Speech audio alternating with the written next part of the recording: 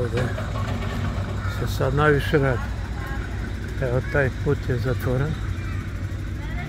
I ako idete za bolnicu, morate ili tamo od semafora levo pa desno. Kroz Vojvode stepe, ne, kroz Lava Tolstoja. Ako idete za bolnicu od tuda, onda od semafora pravo, od hotela, kroz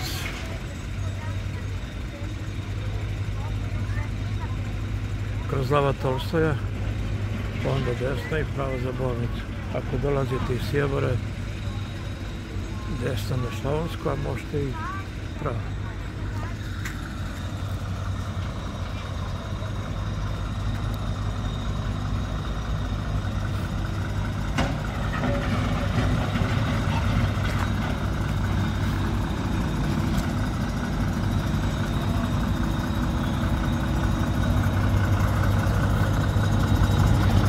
Evo ga gazda, veliki radovi i gazda odmah tu. Svaka čast.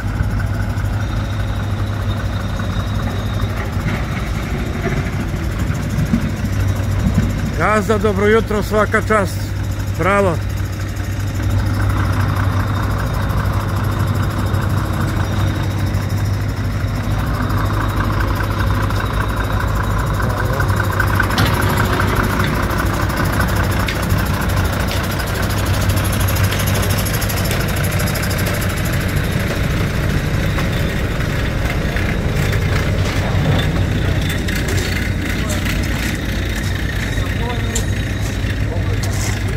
Jutro.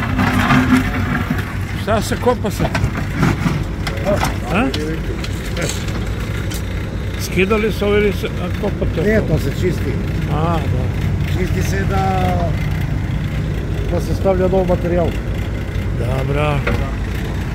Došao gazda da obilazi.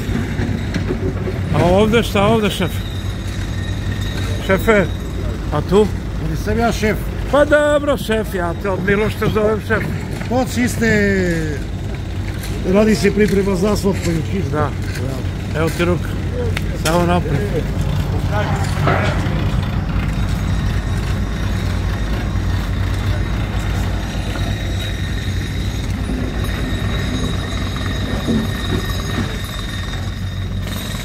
Evo to je to.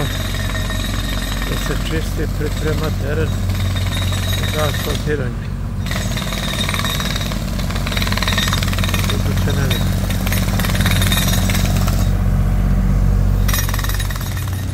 Evo to je to. Znači iz Tijebara za bolnicu ovdje pravo. Ili desno. Slavanska pa pored veterinarske. Pa pravo pa desno. Ko zna Pirot, sve jasno.